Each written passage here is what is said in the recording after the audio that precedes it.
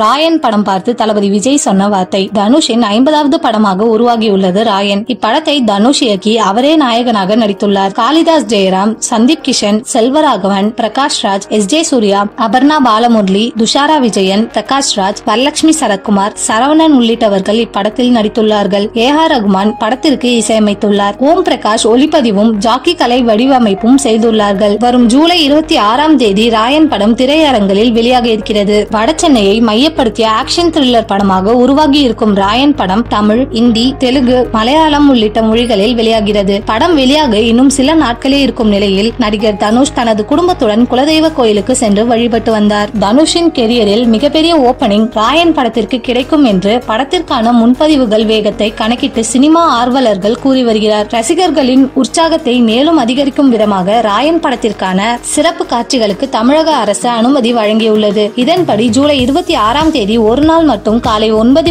ஒன்பது மணி முதல் அடுத்த நாள் அதிகாலை இரண்டு மணி வரை ஐந்து காட்சிகளை திரையிட திரையரங்குகளுக்கு அனுமதி வழங்கப்பட்டுள்ளது. இதனால் தனுஷ் ரசிகர்கள் மகிழ்ச்சி அடைந்துள்ளார்கள். இந்த படத்தை பல முக்கிய பிரபலங்களுக்கு ஸ்பெஷல் ஷோ போட்டுள்ளார் தனுஷ். இதில் தளபதி விஜய்க்கும் திரையிட்டு காண்பித்துள்ளார். தனுஷ் விஜய் நெருங்கிய நட்பில் இருந்து வருகின்றனர். இந்த படத்தை பார்த்து தனுஷிற்கு தனது வாழ்த்துக்களையும் பாராட்டுகளையும் விஜய் தெரிவித்திருக்கிறார். சமீபத்தில் வெளியான இந்த படத்தின் ட்ரெய்லரில் தனுஷ் ரவுடி கதாபாத்திரத்தில் நடித்திருப்பது தெரியவந்துள்ளது தி கேங்ஸ்டர் கதாபாத்திரங்கள் என்றால் தனுஷிற்கு கைவந்த கலை. புதுப்பேட்டை வடசென்னை படங்களில் ரவுடி கதாபாத்திரத்தில் முத்திரை பதித்திருப்பார்.